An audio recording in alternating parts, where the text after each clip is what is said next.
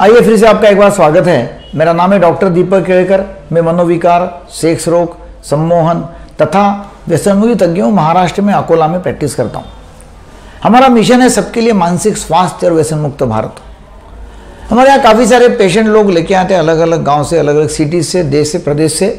और उनको अलग अलग प्रॉब्लम्स रहते हैं। एक प्रॉब्लम में आपके सामने एक पेशेंट का पेश करता हूँ। आपको भी उसमें समझ आएगा कि किस तरह के पेशेंट रहते हमको ऐसा लगता है कि वो पेशेंट नहीं है। मगर वो पेशेंट रहता है। और फिर जब ज़्यादा वो बीमारी जब ज़्यादा बढ़ जाती है, फिर डॉक्टर के पास में लेके आते तो यदि हमने पहले उसको डिटेक्ट कर लिया, पहले कुछ दिनों में उसको डिटेक्ट कर लिया, पकड़ लिया बीमारी को, और हमारे पास में लेके आए तो उसका इलाज अच्छा हो सकता है। अभी ये जो लड़का मैं बताने वाला हूँ, ये करीब करीब अट्ठाईस साल का लड़का है। उसने ट्वेल्थ कर लिया, ट्वेल्थ के बाद में एक होटल मैनेजमेंट का कोर्स कर लिया। होटल मैनेजमेंट का कोर्स ऐसे एक प्राइवेट इंस्टीट्यूट से कर लिया। बाद में एम बी ज्वाइन कर लिया। एम बी ज्वाइन करने के बाद में भी कुछ पूरा कर नहीं पाया। फिर कोई होटल में नौकरी ले लिया। अभी होटल में नौकरी लेने के बाद में क्या होता है? होटल का जॉब जो है, वो रहता है डिमांडिंग जॉब तो वहाँ डिमांडिंग जॉब होना तो वो जो उनके मैनेजर जो है, उधर से चिल्लाएँगे, इधर काम करो, ये काम करो, वो काम करो। तो वो जो स्ट्रेस और टेंशन था, उसमें वो टूट गया। बोले, मेरे से नहीं होगा ये काम। आप तो बहुत चिल्लाते हो। आप तो मुझे एकदम एक जगह बैठने में देते नहीं हूँ। मैं ये नहीं काम कर सकता हूँ, वो नहीं काम कर सकता हूँ, मैं खड़े रह सकता नहीं मतलब ऐसा कुछ तो भी उसने कारण देके वहाँ से रिजाइन मार दिया और घर पे आके बैठ गया। फिर माँ बाप ने उसको और दूसरी जगह चिपकाया कि चलो भाई और दूसरे होटल में जाके काम कर। फिर वहाँ भी जाने के बाद में उसने बोला कि मुझे ये काम नहीं आता, वो काम मैं करूँगा नहीं। आप मुझे ट्रेनिंग दे दो। कोई ट्रेनिंग देने के लिए आ गया तो उसको बोलेगा, नहीं नहीं, मेरे को तो ट्रेनिंग लेना ही नहीं है। पर ऐसे कैसे उठपटांग बातें करेगा और वो छोड़ देगा। उसने सेकंड नौकरी भी छोड़ दिया। ऐसे उसने तीन चार होटल की नौकरी छोड़ दी और घर में बैठ गया। अभी माँ बाप को ये प्रॉब्लम है कि घर में इतना बड़ा बेटा है, घर में बैठा हुआ है, काम करने को तैयार नहीं है, खाता पीता और मस्त बैठते जाता है और बैठे बैठे ऑनलाइन अपना रिज्यूम भेजते जाता है। उसको कुछ छेड़ा तो वो एकदम गर्म हो जाएगा, एकदम इरिटेट हो जाएगा चिड़ेगा इसलिए कि कोई उसको घर में कोई बोलता भी नहीं है। अकेले बैठेगा वो। कभी कभी एक खादे बार, ऐसा लोगों ने देखा है कि एक खादे बार वो मुस्कुराता है। या आधी बार उसके होठ हिलते हुए दिखते हैं। अदरवाइज़ बोलने चालने में एकदम वो नॉर्मल है। सबसे अच्छी बात करेंगे। मगर खाएँगा कम, बहुत ही कम खाएँगा, बैठे रहेगा। कहीं किसी बातचीत नहीं, कहीं बाहर आना जाना नहीं, कोई मिलना जुलना नहीं। और ऐसा उदास जैसा बैठेगा। अभी माँ बाप को ही चिंता होती है, अभी इसका करना क्या? कहीं भी उसको काम को लगा दिया तो वहाँ कुछ ना कुछ वो नुक्स निकालेगा और बोलेगा, मेरे बॉस अच्छे नहीं है, या कंपनी अच्छी नहीं है नौकरी अच्छी नहीं है, मेरे लायक काम नहीं है। ऐसा करके उसने काफ़ी सारी नौकरियाँ छोड़ दिया है। खुद होके कहीं रिज्यूम देके आता नहीं खुद होके कहीं जाके नौकरी माँगता नहीं है। खुद का बिज़नेस चालू करने के लिए बोलते रहता है मगर खुद का बिज़नेस भी चालू करता नहीं है। प्राइवेट कहीं चिपका दिया तो प्राइवेट भी कहीं घर के बाहर पढ़ने को वो तैयार ही नहीं है। और ऐसे अवस्था में माँ बाप को चिंता होती करना क्या है? जब उस, उस ये लड़के को मेरे पास में लाया मैंने उसको काफ़ी असेस किया एक दो तीन सीटिंग में।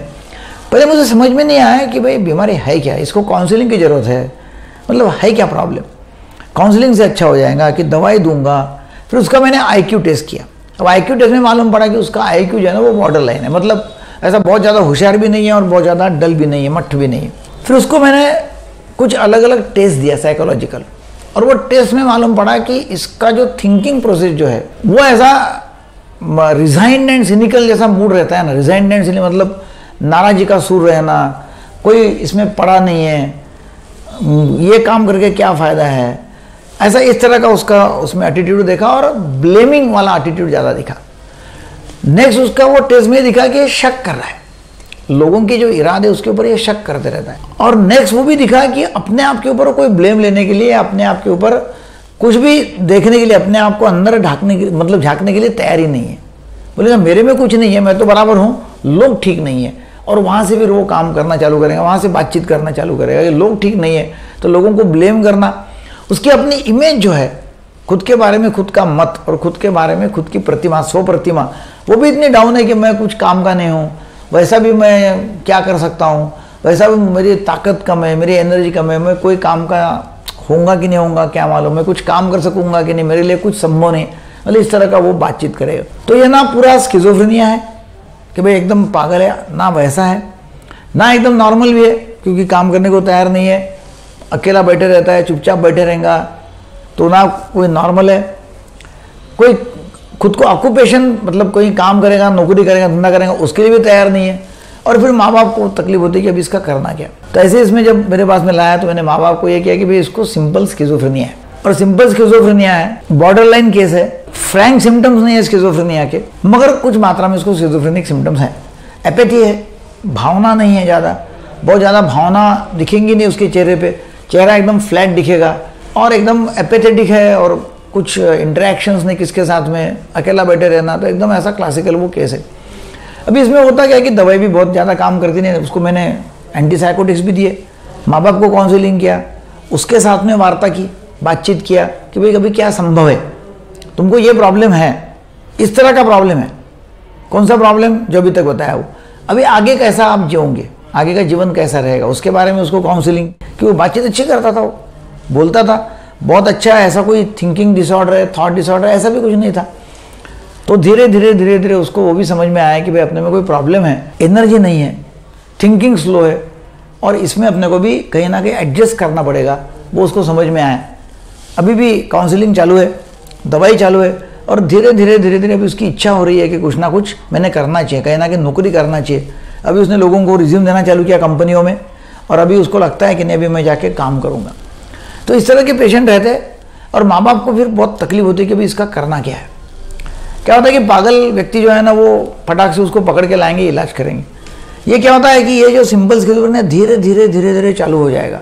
लोगों को मालूम भी नहीं पड़ता घर के लोगों को कि ऐसी बीमारी चालू हो गई अंदर करके। और फिर बहुत ज़्यादा जब होता है, तब उनको लगता है कि नहीं, अभी डॉक्टर के पास में लेके जाना पड़ेगा। जब डॉक्टर के पास में लेके आते तो टाइम हो जाएगा। और वहाँ तब कुछ नहीं कर सकते। मुझे आपको इतना ही कहना है कि यदि आपके बेटे में, बेटी में ऐसे कुछ लक्षण दिखाई दिए कि जो नॉर्मल नहीं है, आपको ऐसा लग रहा है कि कुछ तो भी गड़बड़ है, मगर पकड़ में नहीं आ रही।